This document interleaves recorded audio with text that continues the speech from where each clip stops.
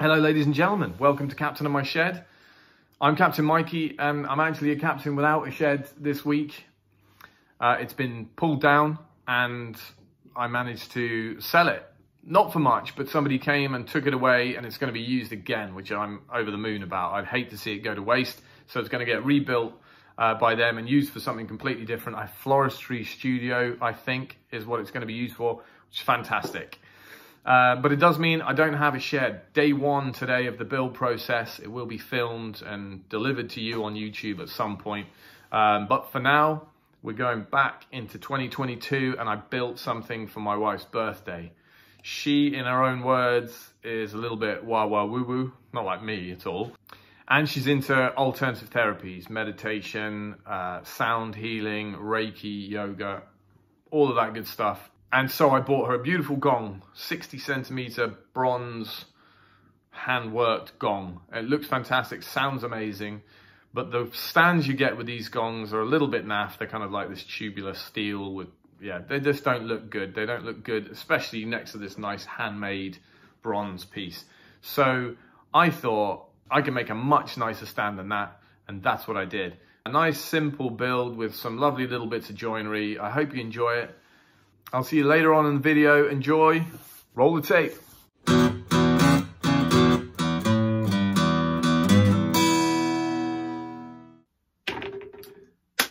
Right. The wife's just disappeared. She's given me a, a cup of tea. Cheers, lovely. and um, and it's good that she's gone because in this video I'm going to make her a birthday present. And the thing I'm going to make is called a torii gate, a Japanese torii gate. Yeah, I've got plenty of offcuts of ash from the table I made, just strips like this, be perfect. And I've got this fairly big lump of um, mahogany. It's got some holes in it that I'm going to have to be fairly clever about working around. Uh, but I may be able to salvage this to where I can make it a really nice piece of the action. Be using hand tools, hand joinery where I can, trying to make this thing um, as beautiful as possible. So, hajime!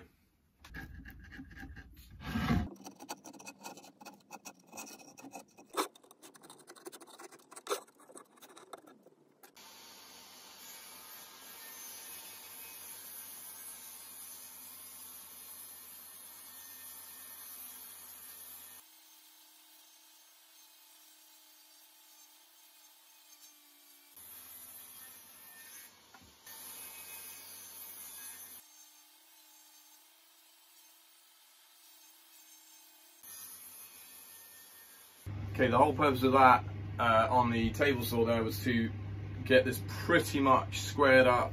The face is cleaned off, so the uh, and all, all, the kind of paint and varnish and whatever off, so that when I plane it, my plane doesn't have to deal with all that. So to use this piece, I want the one piece, uh, this piece, I'm going to use, and then split the remaining piece down the middle, I can use this and this. And we may like glue them together, we'll see. Like I said, I'm gonna be a bit inventive how I use this piece.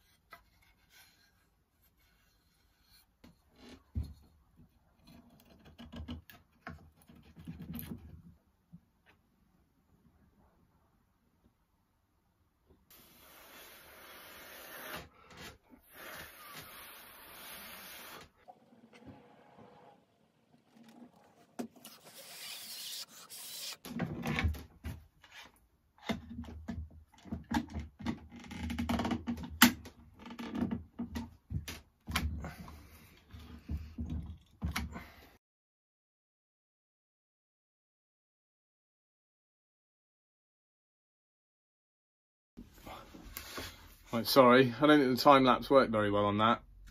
Just as well, really, because all it was was me passing it through the table saw a bunch of times and actually realising that I should have just taken the time to set up a fence of some sort on the router table and got it done in just a couple of passes. Anyway, I'm left with a few of these little ribs now, but they're just snapping off with nice brittle dry wood. So I'll snap these off, clean up a little bit with a chisel, and then we can do a glue up.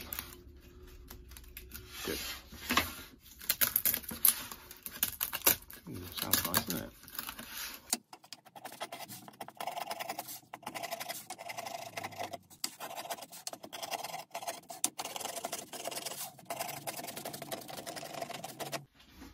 Does that fit in there? It'll present a nice clean edge. Go.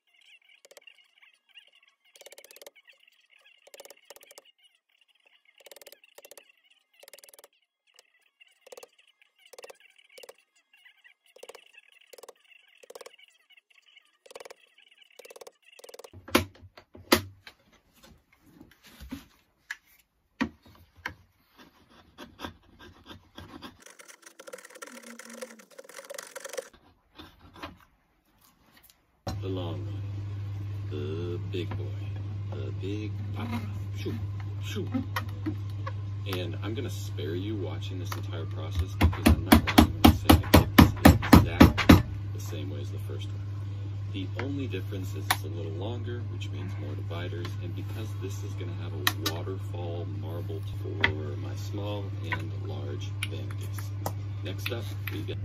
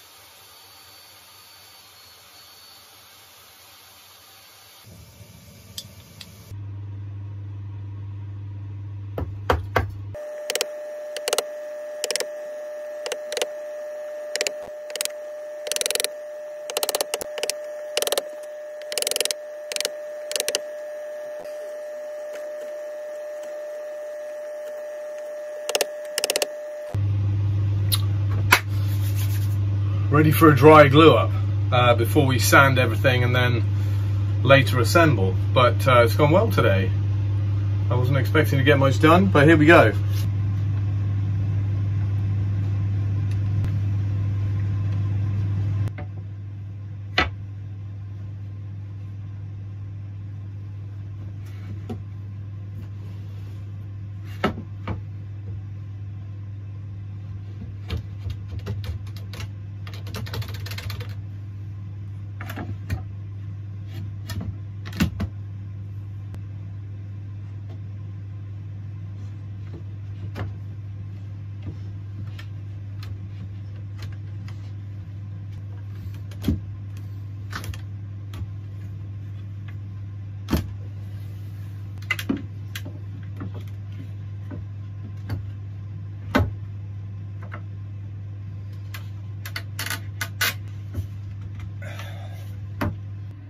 Done a dry fit, so then it's time for the glue up.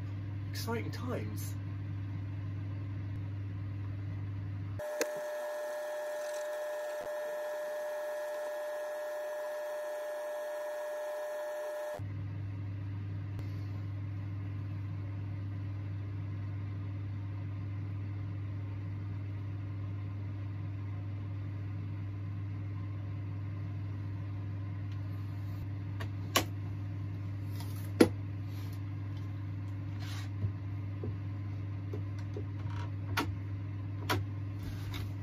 Up the glue up on this might be a bit interesting. I've got a bit of squeeze out here in a corner that it's going to be visible and I want it to look nice.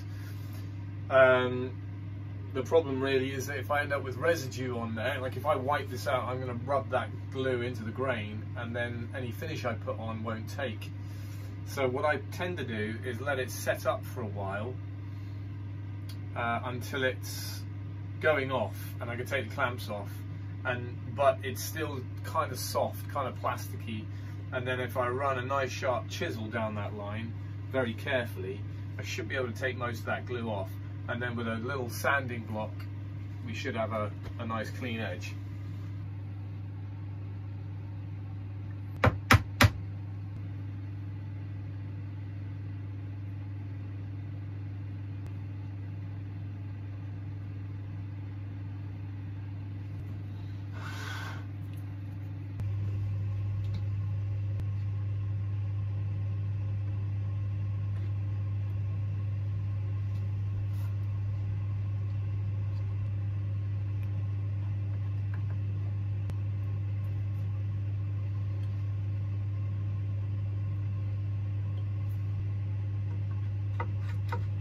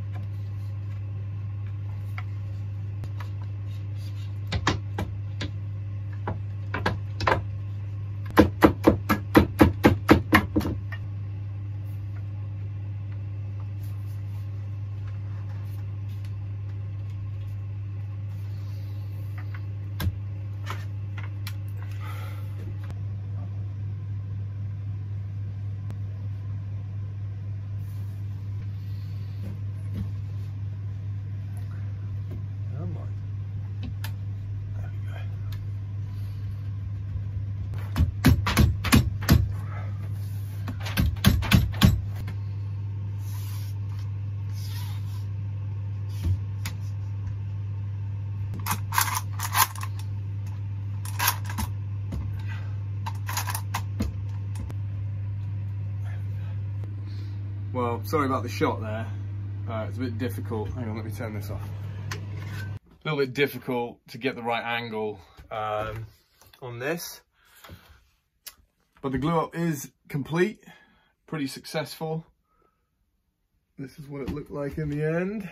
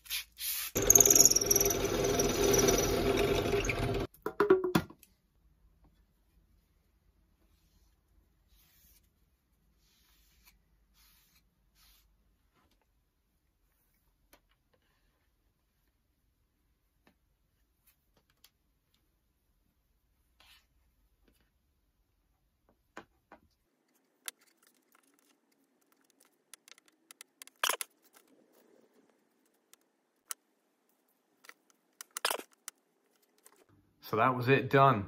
Up next is the finished result. I'll show you some close-up clips and we'll hear that gong being hit by a little helper of mine. I hope you enjoyed it. It was really fun to make. Hopefully the next time you see me, it'll be in a new workshop. I can't wait. If you like the content, like, subscribe, all that good stuff. If not, then don't. And I'll see you next time. Take it easy.